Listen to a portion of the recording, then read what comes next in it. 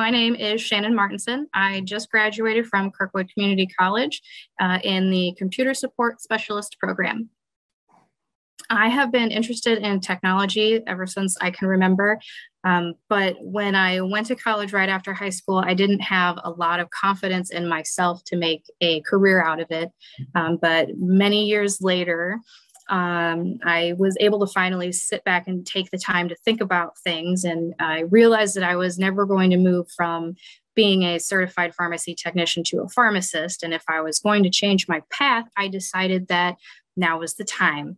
Um, and the only thing I was going to go back to school for and really wanted to learn about was technology.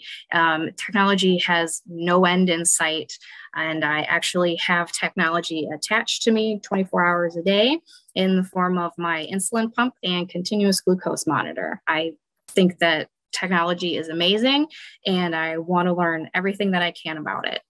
So, Currently, I work for Solutions Management Group or SMG at Kirkwood as a service desk analyst for the staff and faculty at Kirkwood. Um, they can email or call the service, service desk and submit their own tickets. Um, and there's a wide variety of reasons why we get phone calls. So my brother-in-law actually graduated from Kirkwood with the same degree. So he graduated for with the uh, computer support specialist program.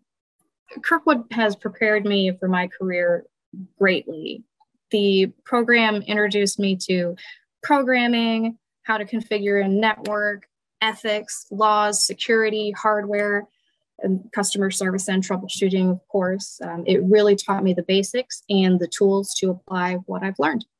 Um, right now, I'm happy with where I am at, at SMG, and um, SMG is very supportive, and I'm just pretty excited to see where this takes me right now. So, I am making more than I was in my previous career as a certified pharmacy technician. My decision to pursue IT has sort of served as an inspiration. Um, my kids pretend that they have laptops and are working uh, because they've seen me do that. And my six year old actually has a, a coding game on her tablet that she thinks is pretty cool. I have four pieces of advice for other students. First, if you need help or have a question, ask. Everyone at Kirkwood is there to, to help you and answer any questions that you have. Um, the second is time management don't work so much that you can't keep up with your homework. Um, I worked part time and was a full time student. And when I started with Kirkwood, our kids were two and four. I had some very long nights before I learned how to better manage my time. Um, number three is take breaks. And number four, treat yourself.